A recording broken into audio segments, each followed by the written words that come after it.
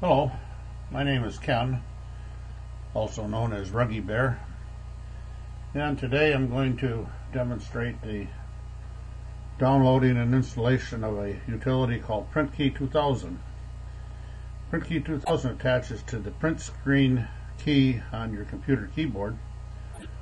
It's loaded automatically every time you reboot your computer.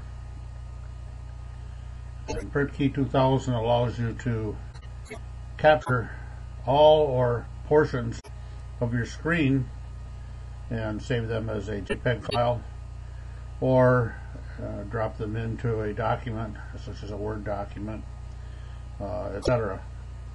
So, first thing you need to do is obtain print PrintKey 2000 and I have a uh, Internet Explorer file here where I've already gone and googled PrintKey 2000 as you can see here. That's what I put in PrintKey 2000 and these were the results. What you're looking for is a freeware unsupported version. It's called PrintKey 2000 version 5.10 and it'll download as a zip file. I'm not going to download that, show you show you how to do that. That's pretty pretty standard fare there. I've already got it downloaded and I'll open it up and then we'll go ahead and do the installation with it. So we'll close up the Internet Explorer here and come down here and open up my uh, Windows Explorer here. Uh, print 2000 zip. And when you open it up it has inside it a file called setup.exe you just double click on that and it'll go ahead and start the installation process and it actually is pretty straightforward and yeah excuse me pretty straightforward and it takes time at all. You just follow the on-screen prompts.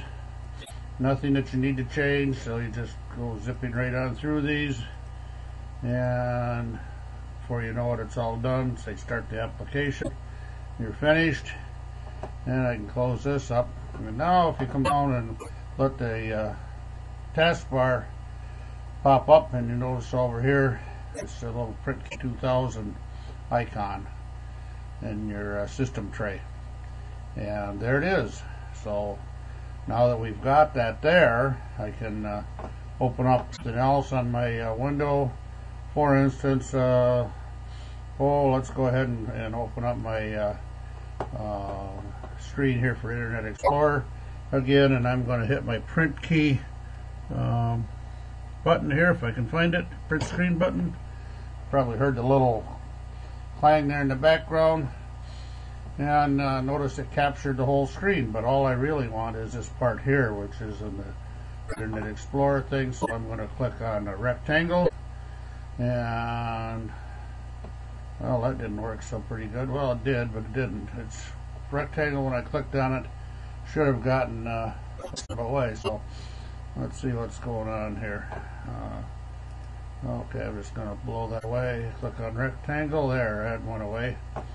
And we come over here and we just highlight this with our crosshairs and let up. And there that's what's inside of here. And I can copy that or I can save it or I could paste it someplace. Uh, there are other things here that uh, you can do. You can figure those out pretty much for yourself, but I wanted to show you this this rectangle feature, and I'm going to say copy that. And so now I copied it. I'm going to go over here and select my Word document. Then I'll just do a right click and a paste. And there that is right in there, right in the document with no problem whatsoever. It's real quick and simple. And we can go ahead and save our document and, and be done. So I hope that uh, helps with uh, captures. It's uh, real quick and easy, and uh, I find it very functional, and I use it all the time. So hope you enjoy. Once again, this is Ken, also known as Ruggy Bear.